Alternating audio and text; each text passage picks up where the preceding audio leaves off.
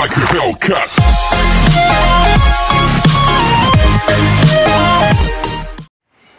Hello! Ako si Teacher RR. Ngayon naman, isi-share ko sa inyo kung paano ako nag edit ng thumbnail using phone. So, ang ginagamit kong app ay PixArt.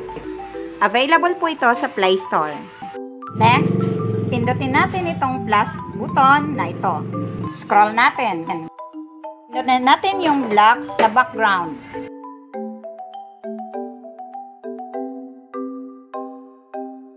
Pindutin natin yung tools. I-crop natin. Set natin sa 16 by 9. Tapos, i-check natin.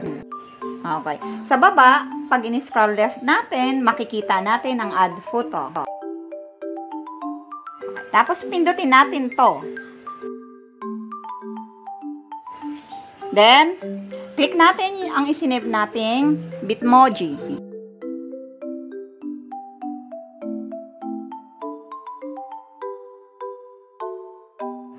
Hanapin natin ang cutout. Select natin ang person.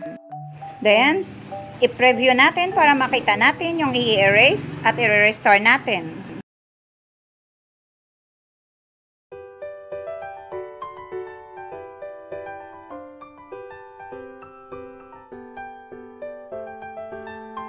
I-erase natin ang sobra. Ayan. I-save na natin. Move natin.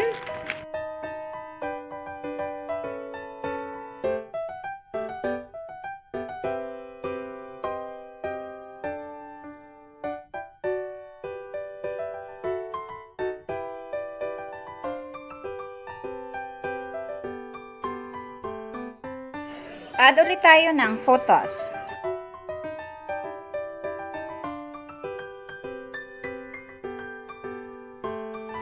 Add natin ang, ang channel icon. Move natin. Add pa tayo ng photos. YouTube logo naman. Move and adjust. Ngayon, lagyan naman natin ng text.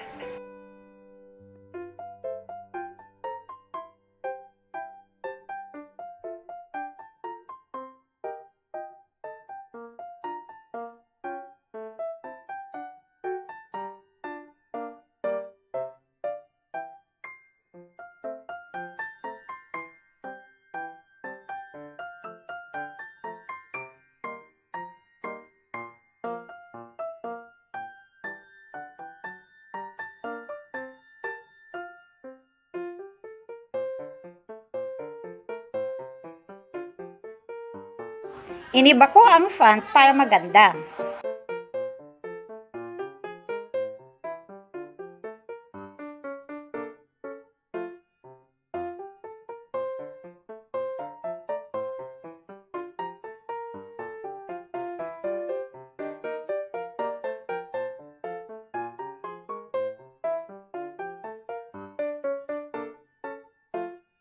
Edit, edit!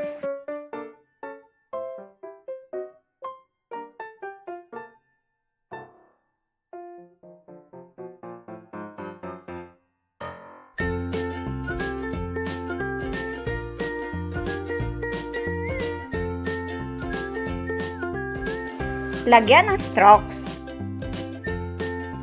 Pili ng kulay.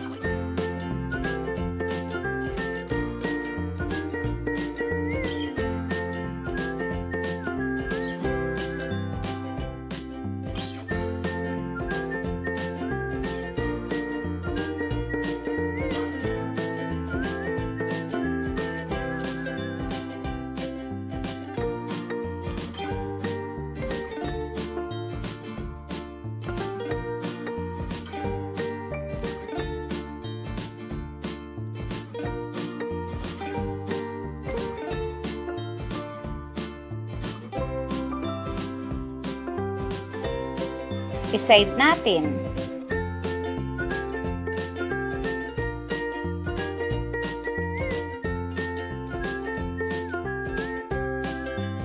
Ngayon, tapos na natin i-save. Check na natin sa Ayan, photos. na-save na siya. Thanks for watching! Sana may natutunan kayo at sana nagustuhan nyo. Subscribe, like, share, hit the bell, or comment nyo kung ano pa ang gusto nyo